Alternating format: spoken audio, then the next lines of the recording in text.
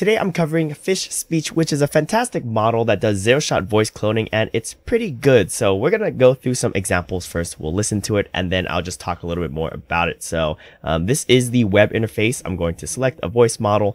Uh, we're going to, let's go with um, this Kokoro voice here and let's take a listen to it. Thanks for tuning in. We're going to be testing out Fish Speech and showing how you can try it out yourselves too, so please stick around if you're interested. So that's one sample. I've got another voice we'll do. We'll do this um, Nicole voice from Kokoro as well. Thanks for tuning in. We're going to be testing out fish speech and showing how you can try it out yourselves too.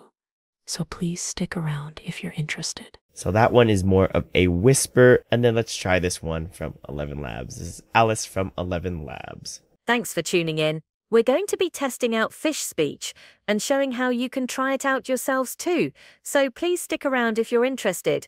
So all of those were zero shot voice cloned voices in the web interface here. And uh, now let's just talk a little bit about Fish Speech. So Fish Speech is actually an open source state of the art model as well. And you can see that on the TTS arena right here, they score number three on the leaderboard, just underneath 11 Labs and Play HT. Um, for the non-proprietary models, it is ranked at number one. However, um, what I was informed is that the model that's actually uh, being ran on the web interface, which is what we're going to be going over in today's video, is actually an improved version. And I can believe it because it sounds uh, pretty similar to 11 Labs.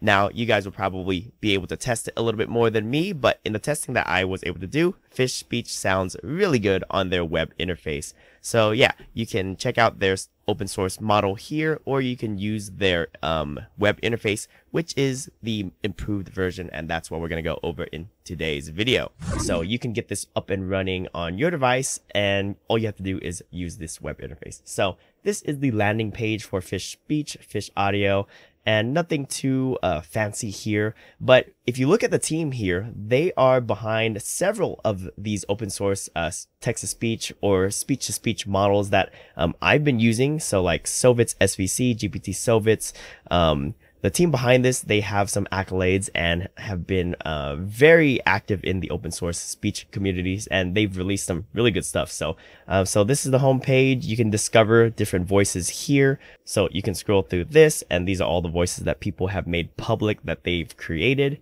You can do text to speech. This is where you, uh, this is kind of like your playground where you can generate samples. That's what I did earlier.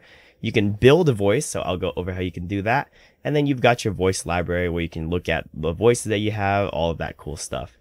And so there are two plans for this. There is the free one and then the premium one. So the free one does allow you to do some web generations, about an hour of it. So um, you can try this out if you want before you pay, if you're going to use the web service, or you can even use this via API. So this is, if you're a developer, you can use this for your, um, for whatever application that you want with text to speech. And I've calculated this to come out to about two cents per minute. So this is what they quote for their TTS price, but um, I did about a minute of generation and it took off two cents from the API credits. So very affordable if you ask me. All right, so how can you use this? We'll go to the discovery page and find a suitable voice for the video. Um, let's go through here. We'll just use a Genshin voice. Um, we'll use this dude. And we'll put in some Great Gatsby here. So I've got some text. We'll delete the rest of that end of the sentence. And then we'll just take a, we'll just do this generation. So we've got the voice model, we've got the text, and then our settings here. Um, you can also turn off high quality mode for it to be faster, but we'll keep that on and then we'll create. He didn't say any more, but we've always been unusually communicative in a reserved way and I understood that he meant a great deal more than that. So that sounds pretty good, but it is clipping a little bit. So I found that if uh, that's happening, just turn the volume down to like negative five, and then let's recreate that. He didn't say any more, but we've always been unusually communicative in a reserved way, and I understood that he meant a great deal more than that. So that actually sounds pretty good in my opinion.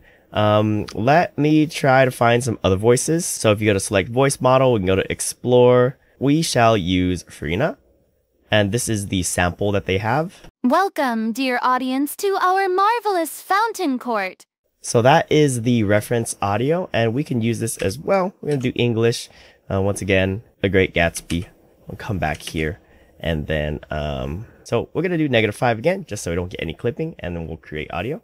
He didn't say anymore, but we've always been unusually communicative in a reserved way, and I understood that he meant a great deal more than that. So there you go. There we got two generations there from their Discovery Explore page. and we can find pre-trained models, but let's say you want to create your own voice. So let's do that now. So I'm going to go to build voice and I'm going to put mine on private. Don't want it to be listed out to the web. And then we're going to, let's just do me. So I'll do me and then um, we'll do a record. So we're going to record some audio here and then I'll be right back. Okay, so here we go. We've got a little bit of a sample here. Let's take a quick listen. So we're going to be recording some audio here for the model in fish speech. And yeah, this is how I speak. And so there's that. It's going to sound a little bit different than the video because I post process my voice um, in my video editor. So this is the raw voice sample, but we're going to click on create, give it a few moments to create the voice. And what it does is that um, while it's creating this voice, it also generates a sample with that voice, which is what it's going to be using for the um, for the model. So here we go. Here's the generated sample. We'll take a listen to that. So yeah, I'm testing out this new um, microphone setup, and uh, like the cool thing about it is that uh, we can adjust the gain settings really easily. It's probably going to take about, I think maybe 30 seconds or so to get everything calibrated properly. Cool. So we can save that and that's not too bad. We'll go to use voice and then let's generate once again with um, this Great Gatsby text. So here we go. And then we'll click on create. He didn't say anymore, but we've always been unusually communicative in a reserved way, and I understood that he meant a great deal more than that. Okay, so not too bad for zero shot voice cloning. All right, and then we're going to create one more voice model here, and that's going to be using um, some text samples from another text to speech engine. So I'm going to be using this Kokoro voice sample here. We're going to download it. I already have it downloaded, um, but uh, we'll just save this here and we'll do private upload this Kokoro. I actually don't know which one this is. Uh, we'll say default. And then we'll upload that audio sample here. So 20 seconds of audio. We'll take a quick listen to it. Kokoro is an open-weight TTS model with 82 million parameters.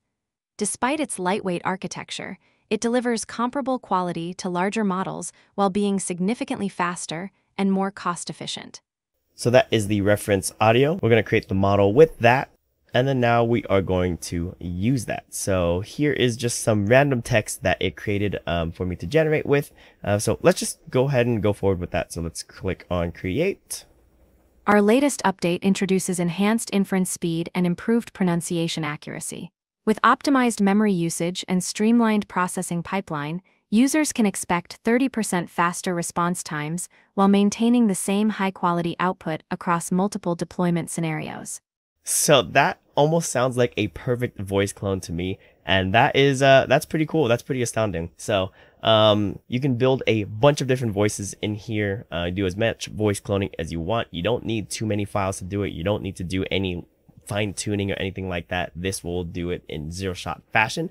So that's awesome. They do have some best practices when doing uh, voice cloning. So some of the quality guidelines they recommend is single speaker only, uh, steady volume, tone, and emotion, some brief pauses so they're not like plowing through pronunciation, uh, no background noise, professional recording quality, and no room echo. So that's to be expected. And then, you know, they've got the instant voice cloning, which is what I showed. And then they have some premium voice cloning options. So these are probably going to be fine tuned models on specific voices, which they say, let's talk for that. And so they uh, accept various audio inputs. So MP3, WAV, so on and so forth. And then um, some of these other things. So yeah, these are just in general always good guidelines to follow. For volume, tone, and emotion, you can definitely play around with this. I got around uh, playing around with uh, the way my voice was recorded to to clone different styles so that can work as well too like for example here is a slow version of my voice that i generated with this sentence we can just take a listen to it and it's um, i kind of exaggerated the speech a little bit to be slow Hey guys, what's up YouTube? Today we're going to be looking at this really cool software I found. And yeah, we're going to go through the installation process and then I'll show you some awesome features that you can use. So, so yeah, let's get into it.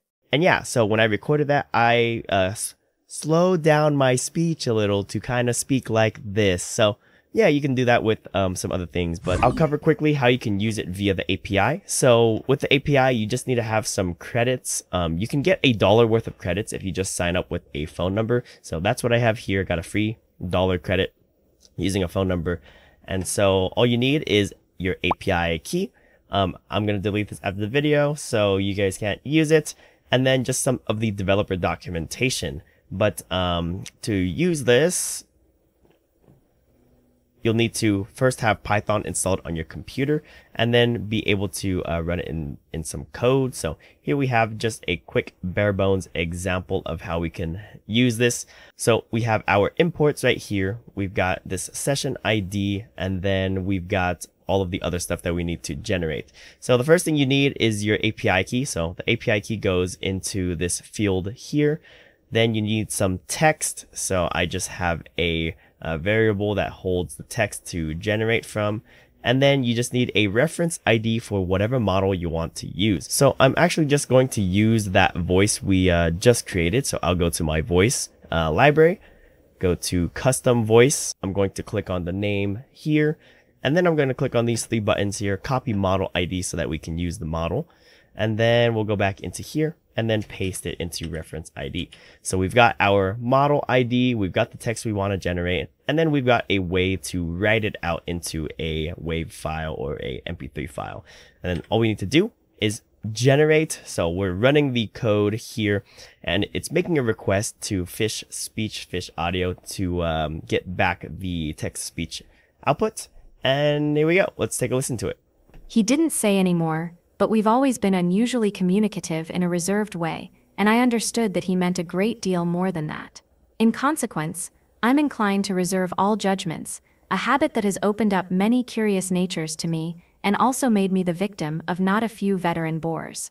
The abnormal mind is quick to detect and attach itself to this quality when it appears in a normal person, and so it came about that in college I was unjustly accused of being a politician because I was privy to the secret griefs of wild, unknown men. So there you go. That is using it in code. And um, if you want a, uh, if you want to know more of how you can do this, I just recommend you look at the documentation here, copy and paste it into something like ChatGPT, and it'll come out uh, with code that you can use in Python um, to be able to uh, create whatever you want to create with this. That is briefly how you can use it in like Python. Um, they've got a GitHub page for that as well. And yeah, that's going to be it for today's video. I'd like to thank Fish Audio for sponsoring today's video. Just wanted to cover this other TTS alternative um, to like 11 Labs or Play HT. Um, I think Fish Audio is pretty good.